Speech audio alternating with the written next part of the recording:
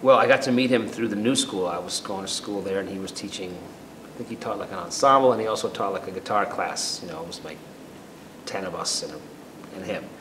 And the thing that I was amazing to me was like, besides just seeing him up close and seeing him play the guitar very quietly, we always played quietly, but just the sound he would make it right in front, you know, just the way he touched the instrument, you know, was incredible to see, you know, there it is, there's the sound. He just plays a chord, you know, you know, personality in sound, you know. Uh, but the thing was, he would basically play, as a teacher, he was very much about open-mindedness and, you know, kind of wanting to know. He was fascinated with how many different ways people played the guitar, and everyone had a different guitar and a different way of holding it and different pick, and he was kind of fascinated with all the different ways people could play it. And so his, his teaching, I mean, it was, it was more he would play with us, and he would, what, I, what, we, what we all noticed was that he would play behind us and make everybody kind of sound good. And then we would play with each other, and then we would sound like we really sounded, which was not so good, you know. So there was the thing of like, first of all, the feeling of playing with him was like, wow, this is the best rhythm section I've played with. The whole thing, you felt the rhythm, you felt the harmony, you felt the, you know, he was listening to you. He was lifting you up. He was making you, he was challenging you, but at the same time, he was making you sound better. They say it's like if you play tennis with somebody who's really good, you get better because the ball is coming at you already, has a certain amount of intensity, so you have to, you raise your game to meet that level, you know. So that's kind of what it was. He would make us sound better than we really were.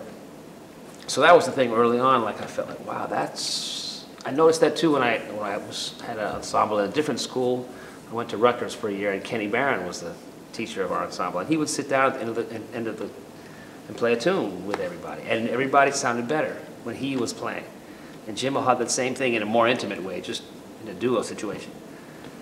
He would just make people sound. So I was like, how do you do that? You know, what's the key? That's, that's something worth dedicating your life and your time to. Not that encompasses, of course, learning about rhythm and harmony and how to play your instrument, but it's also another thing of like the will to make other people sound better and to lift the music, you know. So, and, and getting to know Jim as a person, just just incredible mind, incredible intellect, incredible, you know, sense of humor, a credible, you know, sense of, uh, of, of compassion and understanding, and, and just was a beautiful person. I, I feel lucky that I got to meet him when I was about 20, and uh, stayed in touch. You know, we played a few times over the years.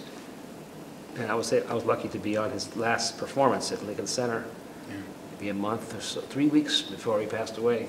Played and uh, played a few tunes with him. And, it, you know, I, that's, I feel very, very fortunate to have yeah, come in contact with him and been able to, you know, I was, I was young when I first met him and, and uh, you know, and he was young. He was about, he was barely 60 years old when I first met him. So so between 60 and 84 or so.